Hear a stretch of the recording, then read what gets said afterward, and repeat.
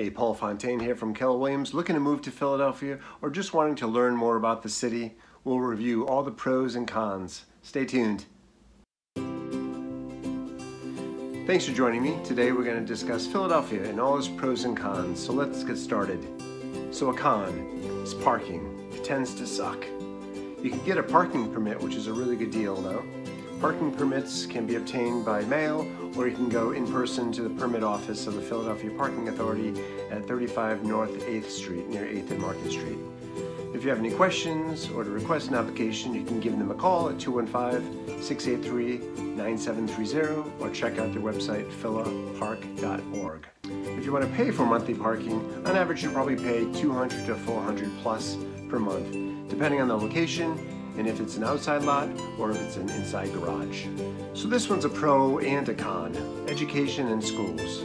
On one hand, we have some of the top universities in the nation, including Ivy League University of Pennsylvania, along with great schools like Temple University, Drexel, Villanova, that's in the Philly suburbs, and many more. As for a con, our elementary and high schools are getting better and better, but many still have a long way to go.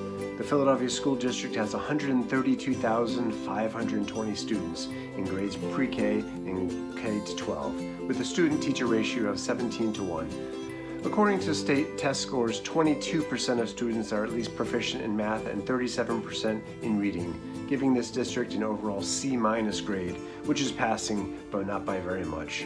There are some very good public and private schools in Philadelphia. It's just challenging at times to get your child into those schools, either because they're full or they're quite expensive. Hey, by the way, if you'd like a free Philadelphia relocation guide or first-time homebuyer guide in Philadelphia, please email me at the address below. I'll be more than happy to send that to you. Okay, back to our list. A pro, LGBTQ equality. It's called the city of brotherly love and sisterly affection for a reason. The Human Rights Campaign has created a series of indexes and reports on the status of LGBTQ equality in the United States. In their latest Municipal Equality Index details the rankings of all cities in 50 states. Philadelphia landed a perfect score of 100, I'm happy to say. In addition, the mayor has an LGBTQ liaison office for the city and also for the police force. Another con, and it's a big one, is poverty.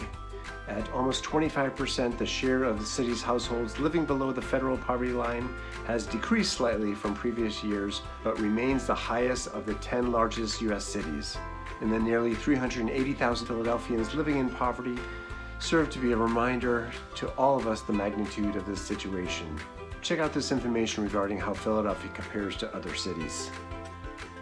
Okay, back to pros. A pro, the world-class art galleries. Plus check out the street art. Let's start with the Philadelphia Museum of Art. Plus, as an added bonus, you get to run up the rocky steps and take a picture in front of the statue. Also, the city has an unrivaled mural program that attracts some of the best artists in the world. Here are some of the amazing murals you can check out if you're in the city. Another pro, we have a smaller carbon footprint since Philadelphia is the fourth most walkable city in the country. You can walk to almost anywhere within city limits in an hour or less. Philadelphia's walk score is 78, compared to a city like Los Angeles, which is only 66.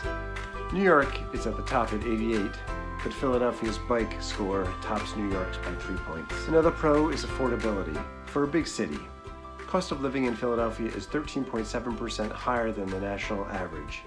But if you compare our cost of living versus other major cities, we're pretty much a bargain with New York City and San Francisco at 80 something percent higher than the national average, in neighboring cities such as Washington, D.C. and Boston at 50 something percent above the national average, that makes Philadelphia's 13.7% pretty good for the sixth largest city in the country. If you like this video, give me a thumbs up, send me a comment, I would love to receive your comments, and as always, I promise to reply. Thank you as always for listening, have a great day, and remember to call Paul. Thanks, bye-bye.